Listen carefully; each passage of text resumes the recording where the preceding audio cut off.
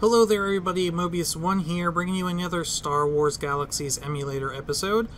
Uh, in this episode, I'm going to be showing you how to adjust the distance of your maximum zoom. Uh, this was actually coming as a request from one of my Twitch viewers, uh, which have talked me into getting a green screen set up, as you guys can see in the background. It looks like I blend perfectly into my surroundings now no more clutter and what have you behind me. Um, but yeah, so adjusting the distance of your maximum zoom, which is actually even further when you're on a vehicle. Let's see if I dismount, it zooms in, but zoom out even further on the swoop. So you get these nice aerial photography shots if you want. Um, the thing is, like, uh, this isn't a perfect example here, but you do run into a, a couple of issues with the maximum zoom increased, um, but I'll go over those at the end. So, how do you change your maximum zoom? Well, it's not actually a setting in the game. You need to actually close your game in order to adjust that. So let's do that now. Okay, so now that you're out of the game, you're going to want to open up your File Explorer and you're going to want to navigate to your Star Wars Galaxies directory, wherever you have the Galaxies client installed. For me, that's my C drive, Program Files 86, Star Wars Galaxies. Once you're here, you're going to scroll all the way down to the bottom and see if you have a user.cfg file. You may not have this file. I did not have this file when I first attempted this. I had to create the file uh, fresh. So all you have to do to do that uh, is open up a program like Notepad, uh, which is just your basic text editor. And all you have to do is add these two lines. Bracket, I'll put these, I'll put this in the video description so you can copy paste, but it's in brackets, client game, uh, K, it's, this is all case sensitive, by the way, so capital C, capital G, client game, one word, new line, free, capital C, chase, capital C, camera, capital M, maximum, capital Z, zoom, equals, and a number. Right now, I have this number set to 6. I think 6 is fair. I'm going to show you what happens when you change when you if you make this number too big. Um, I don't actually know what the default zoom level is because, like I said, I didn't have a user.cfg file. I'm gonna guess it's like maybe three, two or three.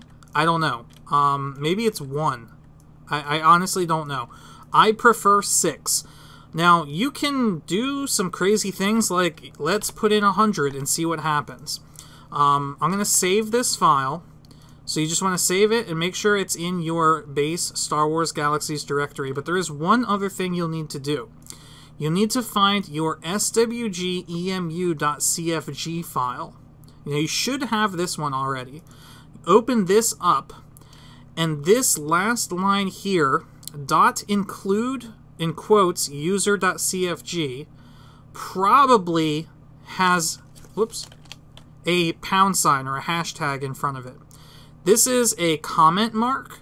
What you want to do is delete that. You want to make sure that none of these lines have that icon in front of it. Otherwise, it will your game will not read those files.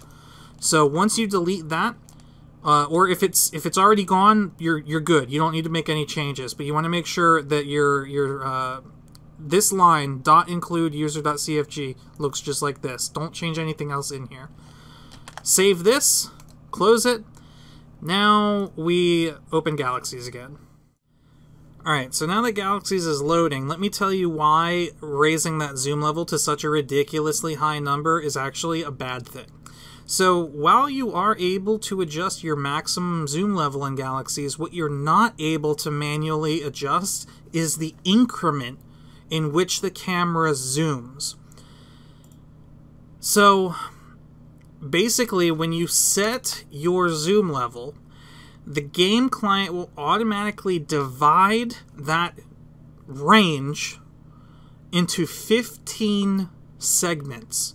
And when you scroll your mouse wheel in or out or press your, you know, zoom in, zoom out key, whatever, however you do it, your client will always zoom one increment per, you know, input. so if your input, if your uh, zoom range is ridiculously far, the distance between going into first person mode like this and the and one increment of the zoom can be pretty large. So right now with my maximum zoom level set to 100, this is as close as I can make my camera to my character without going into first person view. Yeah. I don't know about you, but I like to see my character up close from time to time without having to go straight into first person. But on the other hand, since we set the max zoom to 100, if I zoom out, yeah, we can see the traffic flying over Theed City from here. Uh, you can you can zoom pretty far out. Um, it's it's pretty neat. So it's fun to kind of play around with this, but it's not really practical. I mean, you can't really play like this. It's almost like if you were to turn Galaxies into a real-time strategy game. Uh, but oh, and that's not even on a vehicle. Let's put let's put our swoops out. Yeah. Look at that. There you go. Can't see anything at all. We're completely blocked out by the fog. So so it doesn't it doesn't make sense to be able to zoom that far out. And then, you know, your minimum zoom level is this. It's either this or first person. Uh, I I would not be able to play like that. I mean, you can you can get some pretty cool things like if you have a lot of flat land, like you could get like look at all this the traffic freaking out. I don't know. Uh, but now you know how to do it. So yeah, so like I said, I use six let me let me restart my client and change this back to the way I like it because I can't stand it like this.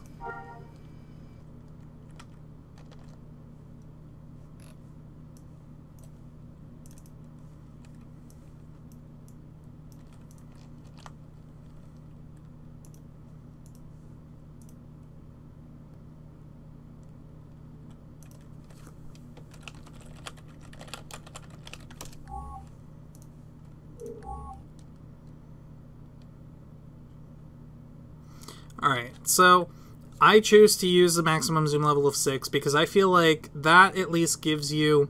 You can still zoom out pretty far, but it still gives you some good ranges up close to, to still be able to enjoy galaxies the way you would be able to normally. So, I mean, look. So that is my minimum zoom distance at level 6. And then, as you saw before, my maximum zoom on foot is this far, and on the swoop is this far. So you you still get a really good zoom level, um, but you can you can still get up close and personal with your toon when you want to, which is nice. Um, at least I think so. But yeah, that's really all there is to it. You can go ahead and edit that file as many times as you want. You do need to restart your Galaxies client every time you make a change to that file, though, um, because it will not, it won't automatically update if your game is open. So it could take some time to get it exactly where you want it. I would suggest starting at 6 and maybe like go up or down two or three points at a time from there to try and find a zoom level that you really like. But it's as easy as editing a text file. So, thank you guys for watching. I hope this video helped you out a little, or was at least entertaining. Have fun with it, and I'll see you guys next time.